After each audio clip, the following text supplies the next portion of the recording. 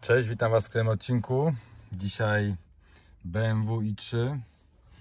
Eee, samochód elektryczny i tutaj e, nie będziemy mówić ani o danych technicznych, ani o wyglądzie zewnętrznym. Dzisiaj sobie porównałem, bo jeszcze mamy jednego elektryka e, i porównamy sobie wnętrza samochodu. Wiadomo, o gustach się nie dyskutuje, natomiast e, wielu użytkowników marki BMW kojarzy tą markę, nie wiem, z jakością, z e, nie przepychem, źle to nazwę, ale z luksusem, o, z luksusem.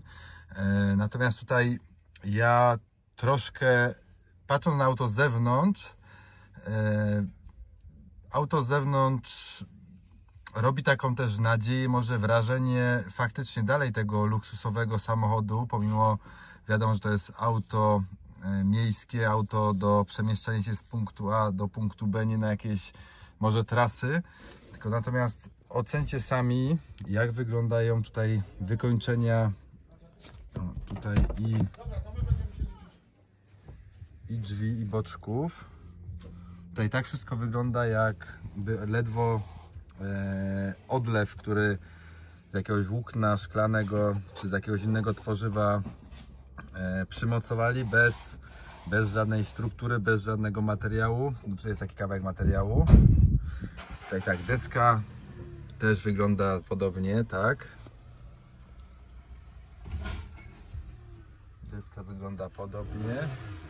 E, Sam kokpit, no to jest wiadomo prosty. Tutaj wygląda to wszystko w miarę nowocześnie. Tutaj mamy dużo miejsca. E, Kierowca, pasażer, z tyłu też to się zmieści. Ale mnie tutaj troszkę, tak mówię, mm, nie wiem, ja czuję, nie wiem jaki to był zamysł tutaj konstruktora, zamysł, e, zamysł e, człowieka, który to projektował. Być może to jest jakiś ekologicznych e, komponentów z recyklingu zrobione, nie wiem, nie wnikałem. Natomiast tak, no kierownica nowocześnie wygląda. Tutaj dźwignia zmiany biegów wygląda nowocześnie. Natomiast, no nie wiem, mi osobiście nie pasuje jedno z drugim, bo tutaj część elementów naprawdę stylistycznie w porządku, e, a tutaj taki czuję trochę ja przynajmniej osobiście wsiadając z takiego samochodu nie, niesmak e, z wykończeniami tutaj o i boczków i tutaj tej deski. Także siedzenie też, siedzenia też w porządku, też takie fajne się wydają. Natomiast resztę ocencie sami, jak Wam się podoba. Ja zresztą może w przebitce dam, jak ja miałem wyobrażenie, żeby tutaj sobie, e, jak wsiądę do tego samochodu, zrobię jakąś tam przebitkę. E, I, i, a co zastałem, nie? Tu jeszcze podłokietniczek, tu podłokietnik też spoko, wszystko fajnie tutaj na napoje jakiś ten. Natomiast tutaj resztę, no ja czuję niedosyt. Teraz pójdziemy do drugiego elektryka i nagramy wnętrze w drugim elektryku.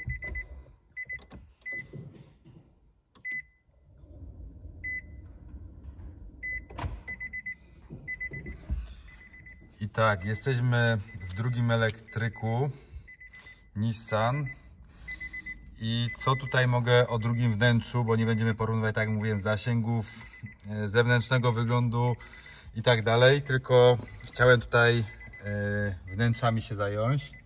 I tak, wnętrze drugiego wygląda jak normalny samochód spalinowy. Wszystko bardzo ładnie wykonane. Proszę popatrzeć. Nowocześnie. Skóra, kierownica bardzo fajnie obszyta. E, Tu już taka ścięta kierownica, fajnie to wygląda. Tutaj mamy lakierowane elementy. Tapicerka jest wszędzie pokryta, no może nie miękkim materiałem, ale przynajmniej imitujący miękki materiał. Także tutaj bardzo e, pozytywnie. Fotele też tutaj są już takie grubsze. Podłokietnik jest o mięciutki, skórzany.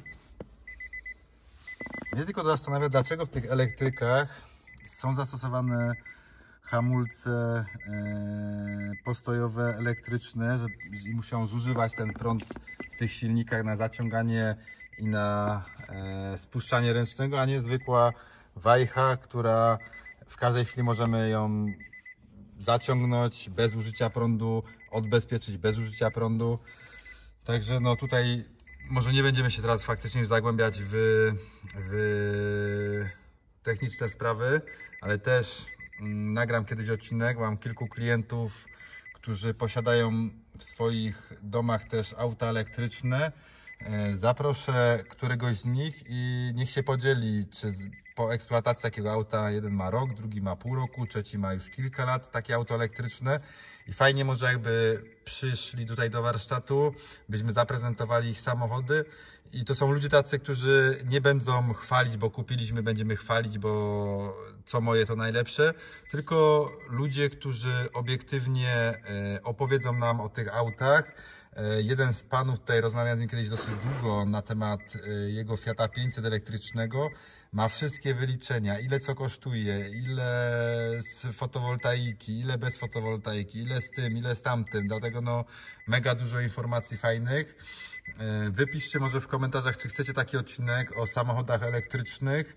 Skomentujcie, które wnętrze Wam się podoba bardziej i czy lepiej takie jak tam w BMW, takie no ściosane i takie obiecujące z zewnątrz auto kosmiczne wnętrze, bo tak tamto BMW wygląda z zewnątrz, a tutaj w środku jak dla mnie rozczarowanie, a tutaj Nissan, który tak przynajmniej ja mam taką ocenę, że tu bym się bardziej spodziewał jakiegoś kosmicznego, e, czy jakiegoś takiego prostego, ściosanego wnętrza, a tutaj bardzo eleganckie, bardzo wygodne, bardzo tutaj kulturalne wykończenie wszystkiego. I te klamki, i te, i te lakierowane elementy, i te tutaj skórzane, to jest skóra? Tak, to też jest takie miękki materiał.